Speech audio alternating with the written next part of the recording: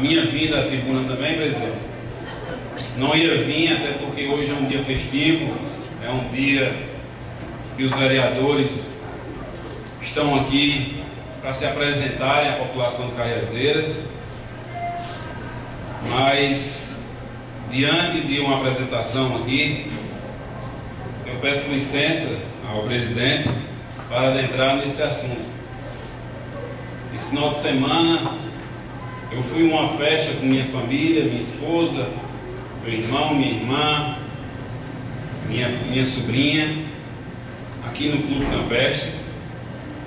E lá nessa festa, a gente começou a, a curtir a festa no, no, modo de falar, né? No modo de dizer. É, em determinado tempo, senhor presidente, da festa, todos sabem que a gente está conduzindo uma equipe de Caiazeiras agora, o atleta.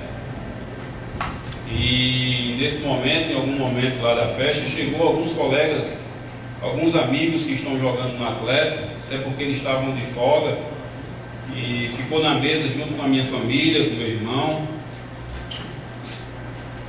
E em, em algum determinado momento chegou é, um rapaz chamado Tim nessa mesa. Estava todo mundo acompanhado com sua namorada, com sua esposa. E esse rapaz passou na mesa, na operadora Léo. E eu fiquei de longe, estava conversando com meu irmão, a festa barulho e não, prestei bem atenção. E esse rapaz depois saiu dessa, dessa mesa. Logo em seguida, esse rapaz retornou novamente para essa mesa, o vereador cinema. Retornou novamente para essa mesa. Daí já teve o princípio de tumulto. Mesmo assim, conseguiram tirar esse rapaz novamente dessa mesa. Na terceira volta que esse rapaz deu na mesa, aí, nosso presidente, população que nos escuta, que nos assiste, começou uma confusão.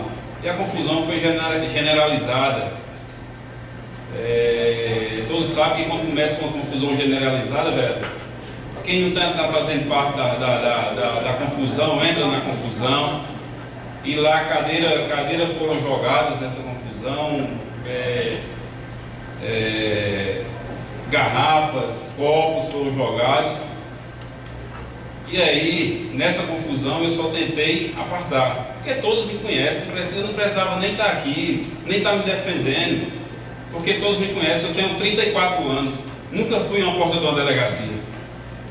Eu tenho 34, 34 anos de idade, nunca fui mais numa porta de uma delegacia. E daí, estão me acusando, jogar tudo para mim. Por quê? Porque eu sou vereador.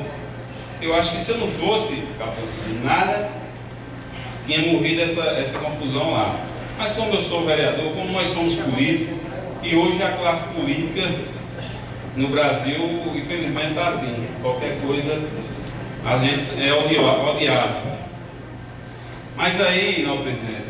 Inclusive meu irmão entrou na briga, é, foi agredido. Eu entrei para separar, para apartar, toda hora tentando apaziguar. Não agredi ninguém não agredi ninguém, só peguei para segurar, para apartar, e aí agora estão me incriminando.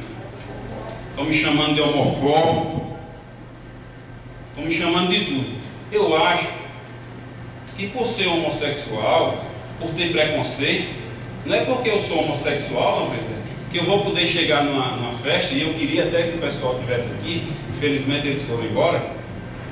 Por ser homossexual, eu não posso chegar numa festa agredindo ninguém. Porque eu sou homossexual, eu vou ter o direito, não, vereador né, de chegar numa festa e agredir uma pessoa, incomodar, estar tá incomodando uma pessoa, para ser homossexual, ou mulher, ou homem, a gente tem que saber respeitar. E eu aprendi uma coisa na vida que é respeito. respeito. A pessoa tem que aprender a ser respeitada. O movimento deveria estar aqui para ouvir. Para nas reuniões tocar nesse assunto, o respeito, o respeito é mútuo. A gente tem que respeitar. E eu sempre soube respeitar. Nunca me envolvi em nenhuma confusão. Nenhuma. Não, presidente. Nenhuma. Me acusaram de homofóbico. Eu tive uma viagem com o novo vereador Juscelino, e o maior prazer de viajar com o novo vereador Juscelino, está com quatro anos, eu acho, vai fazer mais de quatro anos atrás. com o vereador Juscelino Félix. Fiquei no mesmo quarto do hotel, dormi no mesmo quarto do hotel. Mas sabe qual é a diferença? É que o novo vereador Juscelino é homossexual que sabe respeitar as pessoas. A diferença é essa. Ele é um homossexual que sabe entrar e sabe sair. Por isso eu viajei com ele. Por isso eu viajei, porque eu, eu, eu trato de igual. Eu nunca desrespeitei ninguém. Nem cajazeira, nem nenhuma parte. Do pobre ao rico. Eu tenho o maior prazer de receber na minha casa pobre, rico, homossexual, quem, quem, quem quer que seja. Negro, eu sou negro, a minha cor. Não vou nem falar de negro, eu negro. Mas nem por isso eu vou me, estar me discriminando nos cantos, porque eu sou negro também. Então, nobre presidente, eu queria deixar isso aqui bem esclarecido. Estou sendo mídia aí de jornais, infelizmente negativo. Pagando um preço, eu acho hoje, por ser político, por estar à frente de um clube aqui de Carrezeira, que graças a Deus está em ascensão, em terceiro lugar na tabela. E por isso eu estou sendo cobrado, por isso eu estou sendo crucificado por essas pessoas. Mas eu, eu, eu perdoo, meu presidente. Eu entrego na mão de Deus. Eu entrego tudo na mão de Deus, porque eu não vou estar é, em redes sociais brigando. Eu divulguei minha nota lá, não vou estar xingando ninguém.